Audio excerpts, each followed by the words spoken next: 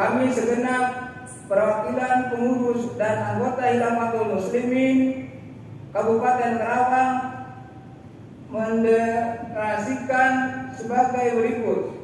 Satu, mengakui dan setiap kepada negara kesatuan Republik Indonesia yang berdasarkan Pancasila Undang-Undang Dasar 45 eh,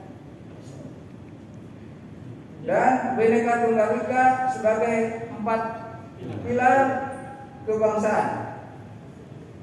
Dua, bertekad menjunjung tinggi prinsip kebinekaan, menjunjung toleransi beragama dan menolak redaksi redaksisme yang menentang dengan Pancasila.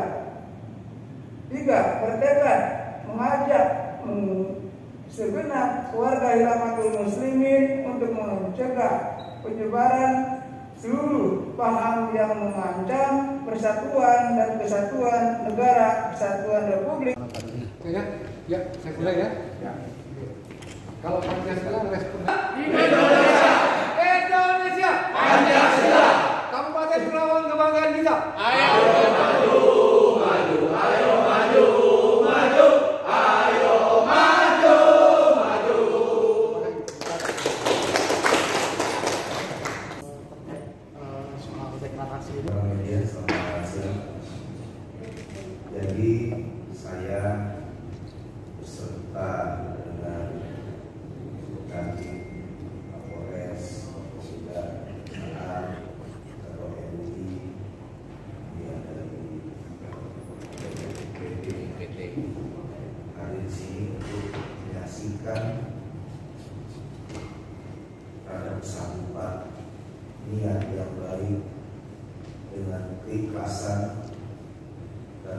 mengakui kekurangan dan kehilapan saudara-saudara kita tadi yang selama ini telah terpengaruh adanya paham-paham lain di luar ideologi Pancasila yang menjadi suatu keharusan dan kewajiban seluruh masyarakat bangsa Indonesia.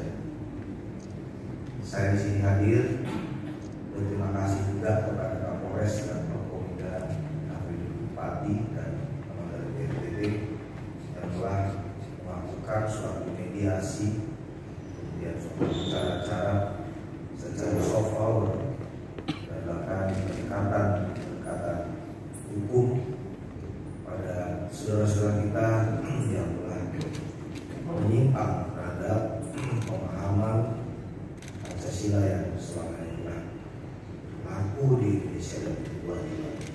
Itu Pak hari ini saya baca di sini. Dan alhamdulillah dengan yang belajar dan mereka ini mewakili rekan-rekannya di tempat lain khususnya di daerah Purwakarta, kemudian Subang dan Kerawang. Yang jumlahnya ada sekitar 400 khususnya di Kerawang ini ada sekitar 200 orang. Uh, Eh, kita kan eh, sama ketahui bahwa negara kita ini berdasarkan Pancasila oleh karena itu ini eh, hal yang sangat positif eh, untuk NKRI. bisa diceritakan prosesnya sampai deklarasi Jadi eh, intinya kita kan dalam hal gakum sudah menahan dua orang ini kan yang berproses. Dengan yang lain eh, kita sudah bersinergi dengan eh, Forkopimda, Kesbangpol semuanya, Kemenang UI.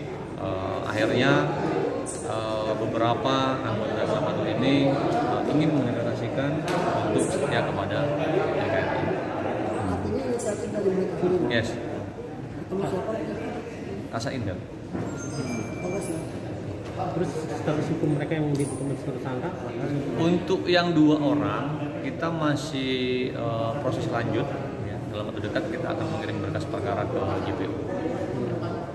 mereka ikut ikrar juga kan nantinya? Kenapa? Nantinya itu termasuk yang 200 ikut eh, kembali ke NKRI. Ini kan masih kita tahan ya. Nanti kita akan kita cek lagi. Baik. Oke, apa lagi? Siap.